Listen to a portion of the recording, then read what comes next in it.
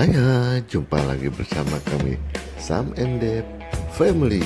Pada kesempatan kali ini kami ingin berbagi pengalaman bagaimana caranya membuka wiper blade atau karet wiper bagaimana cara membukanya dan memasangkannya teman-teman jadi untuk karet wiper seperti ini bisa didapatkan di online shop dengan harga kurang lebih dari 70.000 sampai 150.000 kebetulan ini untuk mobil Suzuki R3 dia ada ukurannya 530 kali 350 panjangnya. Jadi untuk karet wiper pasti lebih panjang salah satunya ini resi dari online shopnya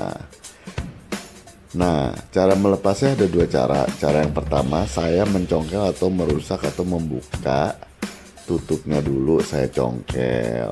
Tujuannya saya ya mencongkel supaya teman-teman bisa melihat setelah dibuka apa yang harus ditekan. Jadi di sini ada sejen ada switch atau ada cetekannya atau ada yang ditekan.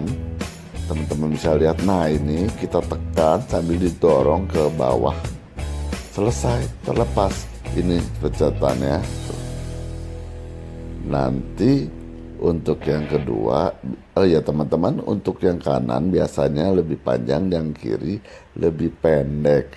Dan jenis Viper blade ini frameless ya teman-teman. Jadi tidak ada tulangnya.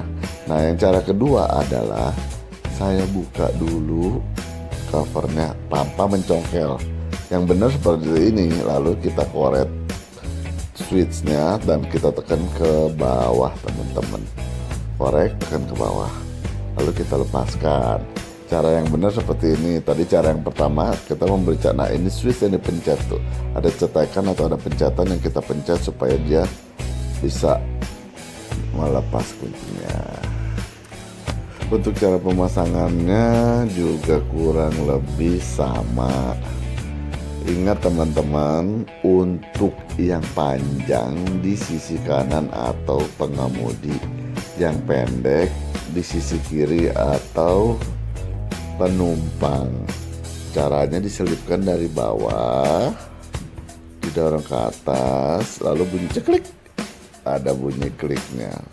Selesai. Dan modelnya ini agak sedikit berbeda dengan yang pertama karena yang ini tidak ada covernya lagi. Lalu ini yang kedua. Sama kurang lebih caranya teman-teman dicong diselipkan dari bawah. Dan ceklik. Nah sampai terbunyi klik selesai. Untuk gejalanya atau kenapa diganti? Karena ketika disemprot timbul garis-garis. Sekarang sudah bersih teman-teman. Terima kasih semoga bermanfaat